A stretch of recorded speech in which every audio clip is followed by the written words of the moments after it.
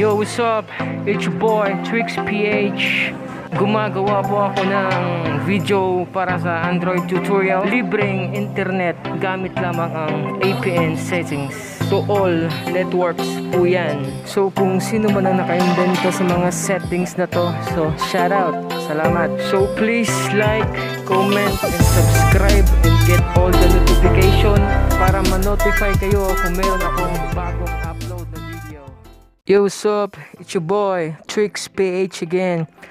Happy 18 subscribers na tayo. So, andito ako ngayon para mag-share ng panibagong tweaks para pabilisin ang inyong signal para guminhawa tayong lahat habang nag internet gamit lamang ang ating data connection. So for today's video, ibabahagi ko sa inyo kung paano mag-switch ng 5G switcher or yung 5G switcher. And we all know na wala pang 5G sa Pilipinas pero ituturo ko pa rin sa inyo kung paano mag-switch na hindi na nagda-dial ng mga secret codes ng cellphone para makapunta sa settings. Kasi madalas nagda-dial tayo ng mga secret codes para makapunta sa settings para na din ma-adjust yung kuan yung uh, LTE or 4G only or GSM only mga na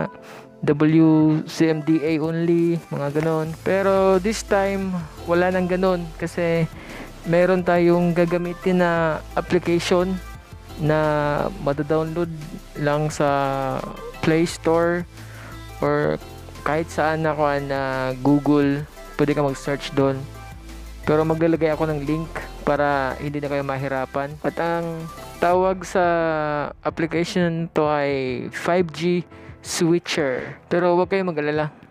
Pwede naman siyang mag-switch ng kahit ano kahit hindi pa 5G yung phone nyo, ayos lang. Pwede siya mag-switch. Kaya niya mag-switch kahit anong isi-switch niya na settings mapa 4G only man or mapa 3G only kaya niya. Hindi lang yung 5 5G lang. So ayun guys, mabilis lang to na video. So paki-subaybayan ng mabuti. Tandaan, comment, like, subscribe and share para mas marami yung makinabang and the video goes like this so ayan guys yan yung app na i-download natin si 5G switcher. As you can see katabi ng coins PH yan yun. So pindudo natin. So yan yung basic na makikita natin. Mostly itadial yan eh. Mostly itadial lang. Punta kayo sa phone. Yun na. Tsaka i-dial niya. May, meron yung secret code para makapunta kayo dyan. So, ayan. Dyan kayo pipili ng kwan ng i-set up nyo na kwan na signal. Pwede na siyang i-kwan, i-run ping test. Yan. Dyan kayo pipili.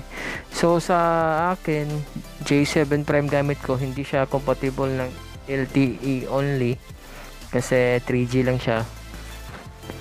Ewan ko kung bakit nilagay ng Samsung na pwede 4G. Pero pwede naman siyang 4G kaso lang hindi siya pwede ma LTE only kasi 3G lang siya allowed.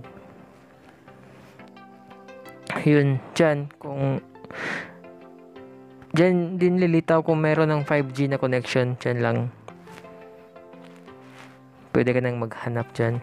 Kung anong kuhan mo. LTE only or WCMD only. Yan yung 3G only po.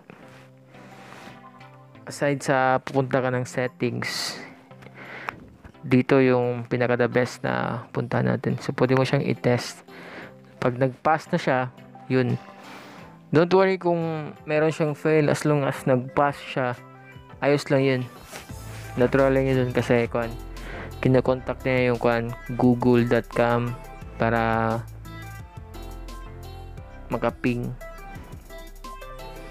Yan yung bale standard standard ba yun?